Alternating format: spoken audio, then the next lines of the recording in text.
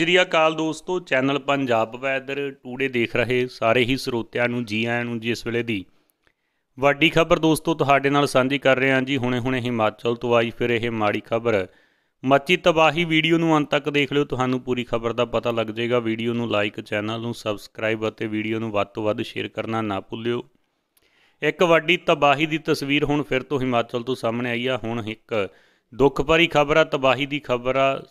ਹਿਮਾਚਲ ਪ੍ਰਦੇਸ਼ ਦੇ ਵਿੱਚੋਂ ਜਿੱਥੇ ਹਿਮਾਚਲ ਪ੍ਰਦੇਸ਼ 'ਚ ਬੀਤੇ 24 ਘੰਟਿਆਂ ਵਿੱਚ ਕਈ ਥਾਵਾਂ ਦੇ ਉੱਤੇ ਚਟਾਨਾਂ ਲਗਾਤਾਰ ਡਿੱਗ ਰਹੀਆਂ ਹਨ, ਜਿਸ ਦੇ ਚੱਲਦੇ ਲੋਕਾਂ ਦੇ ਵਿੱਚ ਡਰ ਅਤੇ ਸਹਿਮ ਦਾ ਮਾਹੌਲ ਬਣਿਆ ਹੋਇਆ ਹੈ ਮੈਨਾਲੀ ਨੈਸ਼ਨਲ ਹਾਈਵੇ ਤੇ ਬੀਤੇ ਕੁਝ ਦਿਨ ਪਹਿਲਾਂ ਹੀ ਜ਼ਮੀਨ ਖਿਸਕਣ ਦੇ ਨਾਲ ਸਬਜ਼ੀਆਂ ਦੀ ਇੱਕ ਜੀਪ ਭਰੀ ਟਾ ਪਲਟ ਗਈ ਸੀ।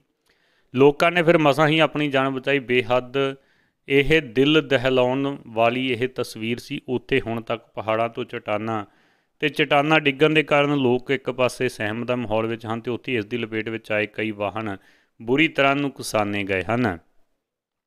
ਇਸ ਹਾਦਸੇ ਦੇ ਵਾਪਰਨ ਤੋਂ ਬਾਅਦ ਉੱਥੇ ਭਾਰੀ ਨੁਕਸਾਨ ਵੇਖਣ ਨੂੰ ਮਿਲ ਰਿਹਾ। ਹਾਈਵੇ ਜਾਮ ਕਰ ਦਿੱਤੇ ਗਏ ਹਨ। ਹਾਈਵੇ ਜਾਮ ਕਰਨ ਦੇ ਨਾਲ ਉੱਥੇ ਕਾਫੀ ਲੰਬਾ ਜਾਮ ਲੱਗਾ ਰਿਹਾ, ਪਰ ਇਸ ਦੌਰਾਨ ਜਾਨੀ ਨੁਕਸਾਨ ਹੁੰਦਾ ਹੁੰਦਾ ਬਚ ਗਿਆ। ਕਈ ਲੋਕਾਂ ਦੀਆਂ ਮਾਮੂਲੀ ਜਿਹੀਆਂ ਸੱਟਾਂ ਵੱਜੀਆਂ ਨੇ ਤੇ ਉੱਥੇ ਹੀ ਕਾਫੀ ਵਾਹਨ ਚਾਲਕਾਂ ਨੂੰ ਕਾਫੀ ਸੱਟਾਂ ਵੱਜੀਆਂ ਨੇ ਤੇ ਕਾਫੀ ਵਾਹਨ ਚਾਲਕਾਂ ਦਾ ਜਿਹੜਾ ਬਚਾਅ ਹੋ ਗਿਆ, ਉਹ ਵੀ ਪੁਲਿਸ ਦੀ ਇੰਟੈਲੀਜੈਂਸੀ ਦੇ ਨਾਲ। ਧੰਨਵਾਦ।